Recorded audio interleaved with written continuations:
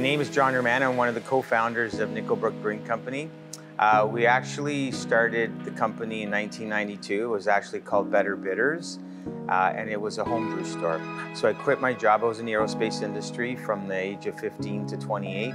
At 28, I quit and started my passion of brewing. I've uh, made pickled, jarred, fermented with my parents uh, uh, and quit my job and started Better Bitters.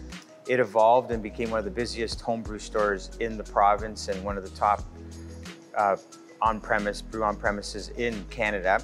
We decided to build a brewery. We built the brewery to make wort for ourselves. Wort is the base of beer. It's like soup stock. And in the midst of building the brewery, 24 for 24 service and beer wars were created, Buck Beer. So all of a sudden, home brewing died. We didn't know what to do. We were a pretty dominant player and, and, and very engaged in the city of Burlington and Halton region. So we decided to start a craft brewery.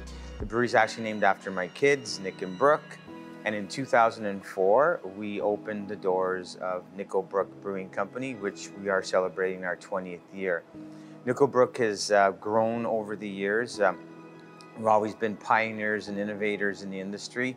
Um, the brewery actually is one of the first breweries to produce sour beers, barrel-aged beers, gluten-free beers, uh, fruit beers, and we've evolved to be the seventh largest craft brewery in the province.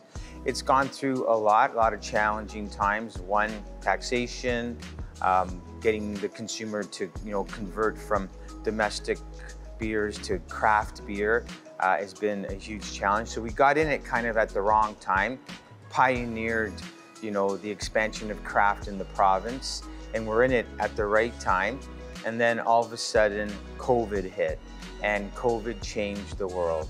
The first year of COVID, things were okay. We lost a lot of our bars and restaurants, but we gained a lot of online and retail took off. It was like Christmas every every day of the week.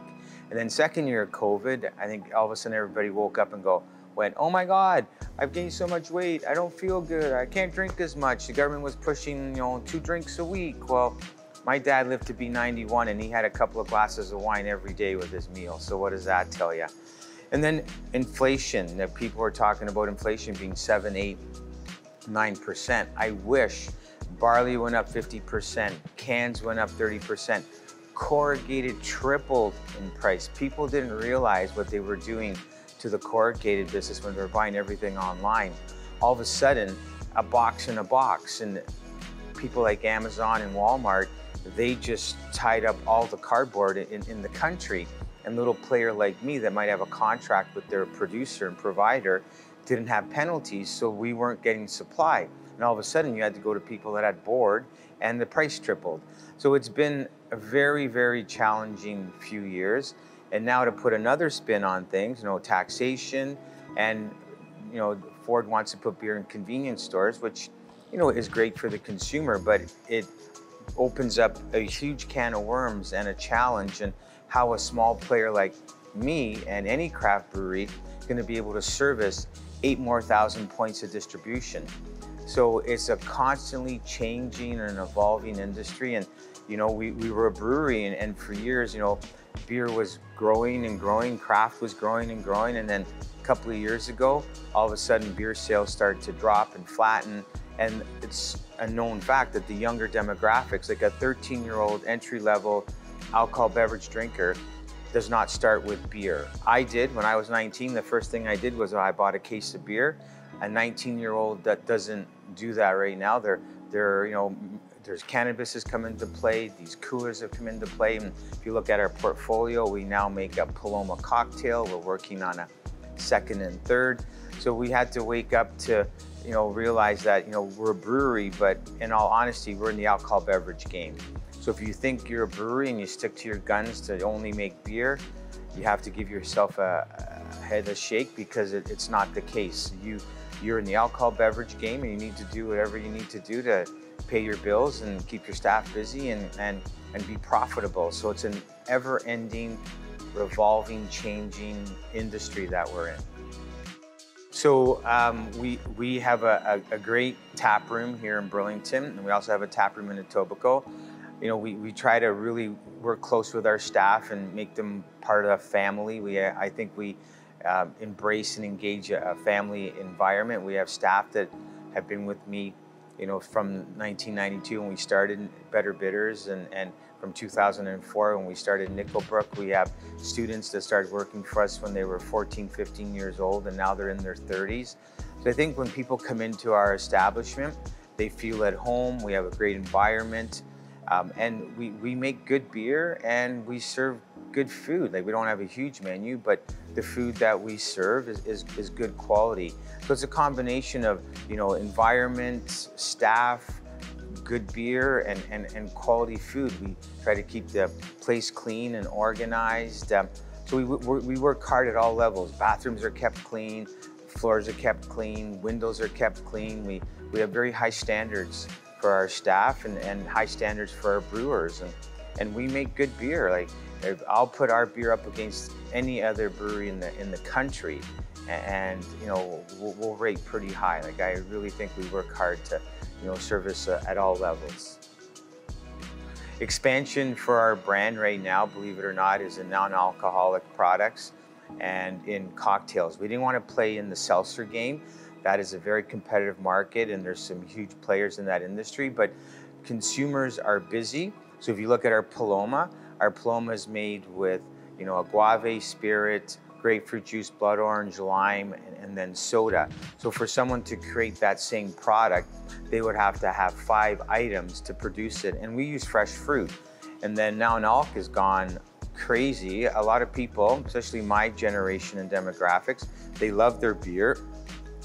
They want to be able to enjoy a, a, a couple of beers. So they might start off, off having a beer or two, and then they'll go to a non-alc, so that way they can drive home and, and, and wake up fine the next morning. So non-alcoholic is growing at double digits. Seltzers and cocktails are growing at double digits. So we just launched our second non-alc and we're now developing our second cocktail. So you'll see us playing more in, in the cocktail world and in the non-alcoholic beer world.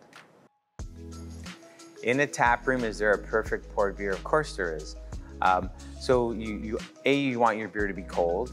Um, this is very important. So we work hard to make sure that our coolers are kept clean and units are maintained and our lines are, are maintained. So that's important and that will provide you, a, you know, a, a part of a perfect pour. But pouring is also a technique. Opening the, the valve properly, letting it flow properly, and then closing it properly. And that, if the person's doing it right, you will create a little bit of head. And when you pour a glass of beer, you probably want about a half inch of, of foam on, on the top of your glass. And we work hard to train our staff and maintain our equipment to be able to accomplish that.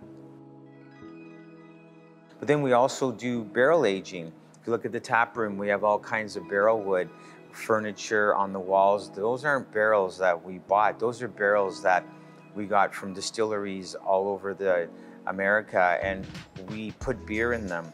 So Nickel Brook is famous for uh, its barrel aging and we were one of the first breweries in Ontario to start a barrel program.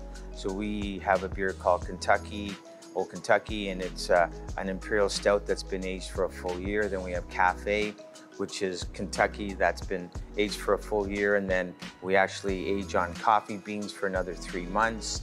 We did another beer last year called Salted Caramel, where we actually got Kentucky and we added salt and caramel to the beer. So we're always evolving. These are very high-end, high alcohol beers. So it's they're sippers. You they're expensive, they're only made once a year, and it's something that you would almost treat like a, a good bottle of wine. You'd share it with some, you know, friends and family and, and sip on it over a course of an evening.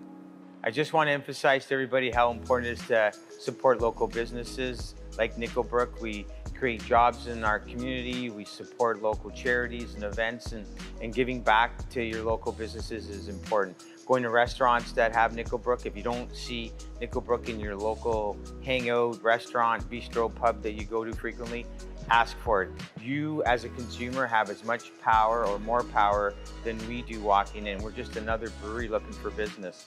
So it's important to support local and drink craft beer. And I just can't emphasize, we have a great space in Burlington.